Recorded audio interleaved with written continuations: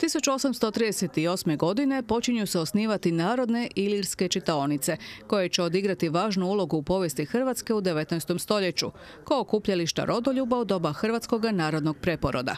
U svojim statutima isticale su kao svrhu osnivanja, pouku i zabavu, jer za rad takvih ustanova nije bilo potrebno odobrenje tražiti u Beču ni u Pešti.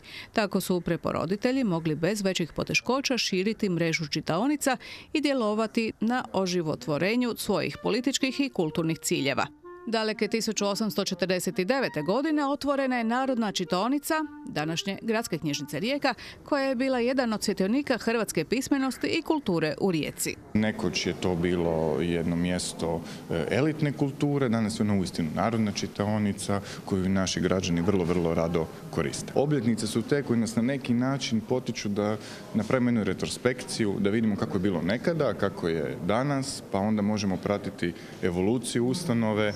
Gradska knjižnica Rijeka sljednik je Narodne čitaonice, pa je ovaj jubilej i rođendan cijele ustanove. Tim povodom izdana je knjiga u Terpsihorinu hramu iz povijesti Riječke narodne čitaonice Irvina Lukežića, riječkog znanstvenika i autora niza dijela o riječkoj povijesti.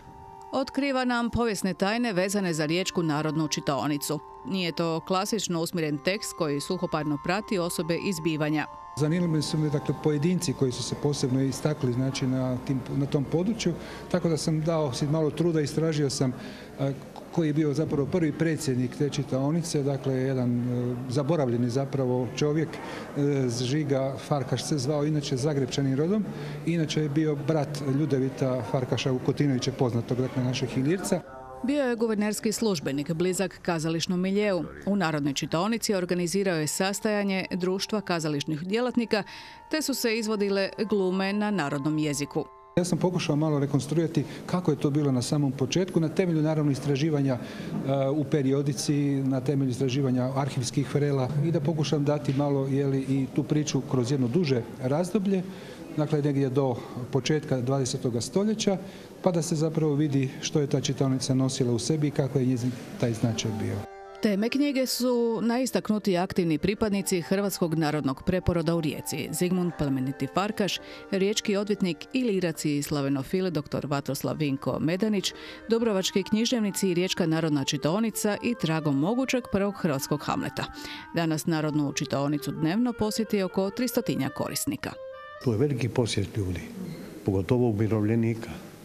Što uglavnom koristite od ovih tiskovina koje se ovdje nalaze? Pa dnevni tisak uglavnom. Ja pratim malo i more i tako. Dolazim skoro svaki dan, ja sam preplatnik.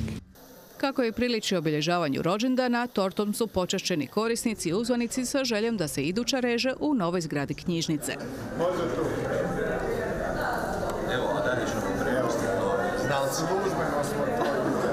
Danas imamo gradsku knjižnicu koja obuhvaća čitav niz drugih naravno aktivnosti koje će se i dalje širiti, pogotovo u novoj zgradi u kojoj očekujemo useljenje negdje početkom 2021. Gradska knjižnica Rijeka ove godine obilježila je i 50 godina bibliobusa i 5 godina uvođenja 3D tehnologije printanja.